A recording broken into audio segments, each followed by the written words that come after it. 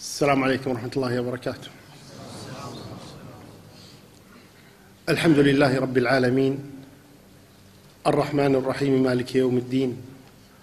والصلاة والسلام على المبعوث رحمة للعالمين نبينا وإمامنا وحبيبنا وقرة عيننا محمد بن عبد الله وعلى آله وصحبه ومن سار على دربه إلى يوم الدين. أما بعد قال ربنا تبارك وتعالى في كتابه العزيز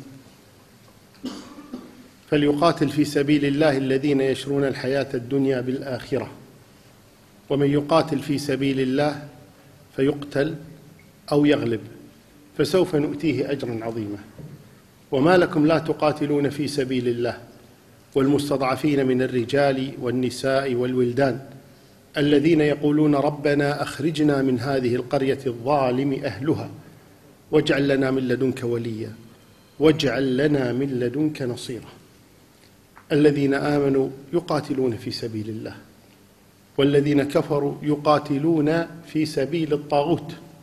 فقاتلوا أولياء الشيطان إن كيد الشيطان كان ضعيفا. هذه الآيات ذكرها ربنا تبارك وتعالى عن أناس مضوا. وها نحن اليوم نجدها تتحقق في أرض الواقع. والله العالم ستكون أيضا في واقع آخر وهكذا حتى يرث الله الأرض ومن عليها.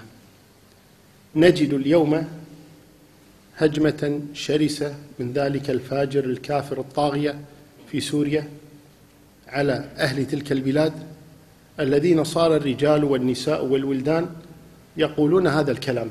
ربنا أخرجنا من هذه القرية الظالم أهلها.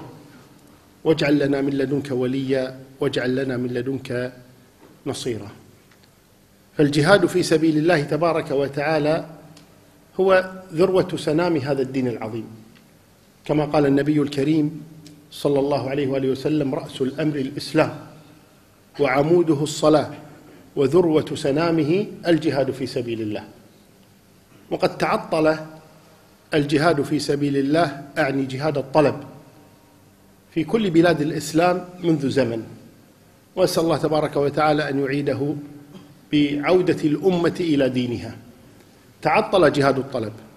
وها نحن نجد أن الله تبارك وتعالى يفتح لنا باب الجهاد من باب آخر ألا وهو جهاد الدفع حيث تسلط هذا الكافر ومن معه على شعب أعزل في سوريا الحبيبة وصار يقتل الرجال والنساء والولدان ويعتدي على الأعراض ويهدم البيوت وغير ذلك من الأعمال التي تعرفونها جميعا. فوجب علينا في مثل هذا الوقت أن ننصر إخواننا المسلمين هناك. كيف؟ وقد قال ربنا تبارك وتعالى وإن استنصروكم في الدين فعليكم النصر. فوجب على المسلمين جميعا لا من باب الصدقة والتطوع والتفضل بهذا بل هذا من باب الوجوب بحيث أن الذي لا ينصر المسلمين في مثل هذه الأوضاع وهو قادر على ذلك يكون اثما. يجب علينا أن ننصرهم طالما أنهم استنصرونا في الدين. وهم الآن اليوم يقولون لكم لا نريدكم أن تأتوا ولكن أمدونا بالسلاح أمدونا بالمال. اكفلوا أهلنا أريحوا بالنا. والنبي صلى الله عليه وآله وسلم يقول من جهز غازيا فقد غزا. فهم يقولون جهزونا نحن نقاتل نحن مستعدون لكننا لا نملك ما نغزو به وما نقاتل به. احفظوا أهلنا. والنبي صلى الله عليه وسلم يقول ومن خلفه في أهله بخير فقد غزا. فهذا باب عظيم فتح على مصراعيه اليوم لكم بحيث تبذلون أموالكم في سبيل الله تبارك وتعالى تحققون الجهاد في سبيل الله بأموالكم. وهذه فرصة لا تعوض. والله ربنا تبارك وتعالى يقول لا يستوي منكم من أنفق من قبل الفتح وقاتل أولئك أعظم درجة من الذين أنفقوا من بعد وقاتلوا. وكلا وعد الله الحسنى. فالله تبارك وتعالى يبين أن الذي يقاتل في بداية الأمر وقت الحاجة وينصر وقت الحاجة ليس كالذي يأتي بعد ذلك. نعم كانت هذه الآيات في الفتح الذي كان في زمن النبي صلى الله عليه وآله وسلم ففرق ربنا تبارك وتعالى بين الذين قاتلوا وبذلوا قبل الفتح وبين الذين قاتلوا وبذلوا بعد الفتح. ونحن اليوم يعود الزمان كما كان. وها نج... ها نحن اليوم نجد قتالا بين المسلمين وبين المشركين. ولا يستوي من يقاتل الآن وينفق الآن مع مع الذي يأتي ليقاتل أو ينفق بعد الفتح بعد انتهاء هذا النظام وزواله. يأتي أناس يقول نعمر البلاد. جزاهم الله خيرا. فليعمروا البلاد ولينصروا إخوانهم ولينفقوا عليهم ولكن لا يستوون مع الذين أنفقوا اليوم. ونصروا اليوم ودافعوا اليوم. لا يستوون. وإذا قال ربنا تبارك وتعالى لا يستوي القاعدون من المؤمنين غير أولي الضرر والمجاهدون في سبيل الله بأموالهم وأنفسهم. فضل الله المجاهدين بأموالهم وأنفسهم على القاعدين درجة. وكلا وعد الله الحسنى وفضل الله المجاهدين على القاعدين أجرا عظيما.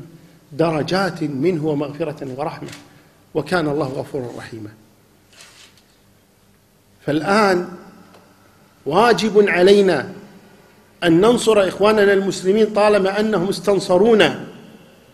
واجب على حكام المسلمين جميعا أن ينصروا المسلمين هناك. إن كانوا لا يستطيعون أن ينصروهم علنا فلا أقل من أن ينصروهم من تحت تحت كما يقال أن يمدوهم بالمال ليشتروا بهم به السلاح. ويدافعوا عن أنفسهم وعن أعراضهم وعن بلادهم. فلا يجوز أن نخذلهم اليوم. لا نخذلهم ونحن حكام ولا نخذلهم ونحن محكومون. بل يجب علينا أن ننصرهم وأن نقف معهم وذلك أنهم بفضل الله تبارك وتعالى رفعوا رؤوسنا. يبذلون النفوس تلو النفوس اليوم كما ترون كل يوم مئات يموتون. لا لشيء إلا إنهم يقولون ربنا الله سبحانه وتعالى. وأنتم ترون كيف يحدث مثل هذا؟ وأنا لا أقول هنا أنه لا توجد أخطاء لا توجد تجار حرب لا يوجد متمصلحون يوجد. ولكن ماذا يمثل هؤلاء في جانب البقية؟ المظلومين. أين نحن من قول النبي صلى الله عليه وسلم انصر أخاك ظالما أو مظلوما؟ فهذه القضية يجب علينا أن نأخذها بالحسبان وأن نحمد الله سبحانه وتعالى أن يسر لنا باب الجهاد أن نجاهد بأموالنا فرصة. فيكتب الله تبارك وتعالى لك الاجر العظيم من جهز غازيا فقد غزا. ومن خلفه في أهله بخير فقد غزا. من لم يغزو ولم يحدث نفسه بالغزو مات ميتة جاهلية. يقول النبي صلى الله عليه وآله وسلم وقد تيسر الأمر اليوم فلا أقل من أن ننصرهم بأموالنا بدعائنا بنشر الكلام عنهم وإبلاغه الناس. وجمع الأموال لهم من غيرنا. المهم أن ننصرهم. لا نبخل عليهم بهذا النصر. وهم قد بذلوا أموالهم وبذلوا أنفسهم في سبيل الله. ألا تكفي هذه النفوس التي تذهب كل يوم؟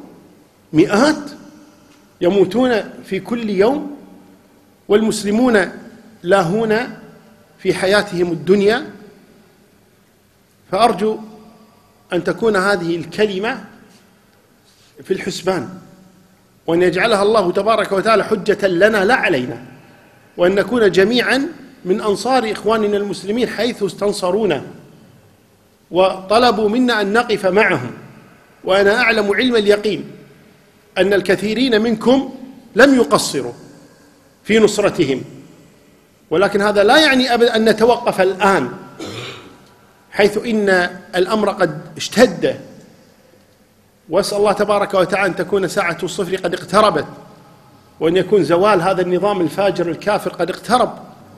ولكن لا نبقى بالاماني لا ننتظر حتى يزول ولكننا نسعى أن نكون سببا في إزالته. أن نكون سببا في نصرة إخواننا. هذا والله أعلى وأعلم وصلى الله وسلم وبارك على نبينا محمد. الله المستعان